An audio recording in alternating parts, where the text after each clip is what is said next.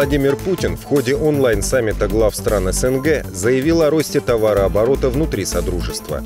По словам президента, несмотря на последствия пандемии, за первое полугодие этот показатель увеличился на 27%.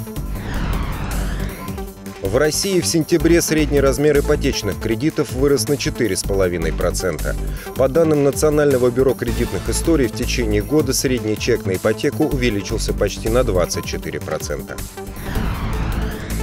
В стране 15 октября стартовала всероссийская перепись населения. Впервые она пройдет в цифровом формате. Граждане смогут принять в ней участие на портале госуслуг. Сотни тысяч аргентинцев вышли на марш протеста в Буэнос-Айресе. Участники акции выступили против бедности, безработицы и повышения цен. Социал-демократическая партия Германии сформирует новое правительство вместе с партией «Зеленых» и либералами. Кандидат на пост канцлера ФРГ Олаф Штольц заявил, что это может произойти до конца года. Минэкономразвития России резко повысила оценку по инфляции на текущий год. По прогнозам ведомства, рост потребительских цен на конец года может составить 7,4%.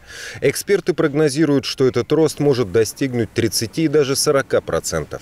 Как отмечают в КПРФ, подорожание происходит при фактически полном бездействии государства при проведении, ну, более или менее такой последовательной политики государства, направленной на защиту интересов граждан, даже в этих условиях можно было бы э, гораздо сильнее смягчить это все и э, сдержать рост цен. Но к этому нет никакой политической воли, потому что для, опять же, господствующего класса инфляция является лишь способом косвенного изъятия прибавочной стоимости, косвенным образом через повышение цен в магазинах.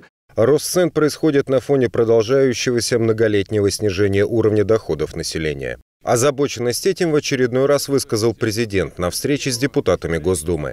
Глава государства назвал бедность главным врагом России и назвал повышение доходов граждан базовой задачей. Между тем, борьба с бедностью происходит в виде разовых выплат отдельным категориям граждан. Такая система не жизнеспособна, уверены эксперты. Если бы глава государства всерьез озаботился борьбой с бедностью, то острие этой борьбы нужно было бы направить против олигархии, которая сегодня захватила все ключевые отрасли и выжимает из них так сказать, все соки для того, чтобы получить сверхдоходы. Чтобы искоренить такое социальное зло, как бедность, необходимо менять многие подходы в управлении экономикой, отмечают эксперты. В частности, навести порядок с прожиточным минимумом.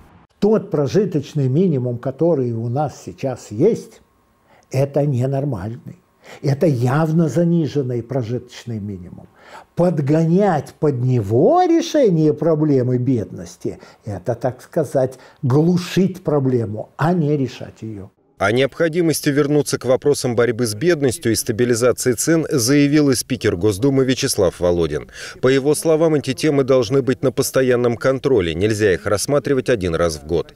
Однако в КПРФ напоминают, что власти уже предпринимали попытки удержать цены и в прошлом году, и перед выборами в этом году. Эти механизмы не сработали. Все мероприятия правительства по сдерживанию цен вот в нашей нынешней обстановке носят довольно прикладной характер и, как правило, направлены на то, чтобы держать цены, ну, скажем так, в тех пределах, которые позволяют избежать социального взрыва, да, чтобы народ просто за вилы не взялся. Вот. Но сдерживать цены для того, чтобы народу было хорошо, у правительства такой задачи нет. КПРФ давно разрабатывала закон о государственном регулировании цен. Сегодня он особенно актуален и в ближайшее время будет снова внесен на рассмотрение Госдумы. Мы, коммунисты, уже дважды вносили закон о государственном регулировании цен, но, к сожалению, э, партия «Единая Россия» его каждый раз отклоняет. Между тем, сама же партия «Единая Россия», ее, ее правительство повышают цены искусственно. За счет чего? А за счет того, что повышается курс доллара. Причем он административно повышается, повышаются налоги, акцизы, коммунальные платежи. Все это ложится на цену, которую оплачивает наш нищий народ. Бедность является фундаментальным свойством капиталистической системы, напоминают коммунисты. Для успешной борьбы с ней нужен переход на социальные основы. В центре работы государства будет человек.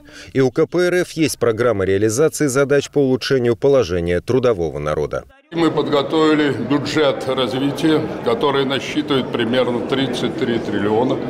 Такие ресурсы у страны есть. И мы все сделаем для того, чтобы они направлены были прежде всего на поддержку граждан, кому сегодня очень тяжело. А тяжело половину страны, она живет меньше, чем на 20 тысяч рублей в месяц. Минимальная зарплата должна быть 25 тысяч, минимальная пенсия то же самое.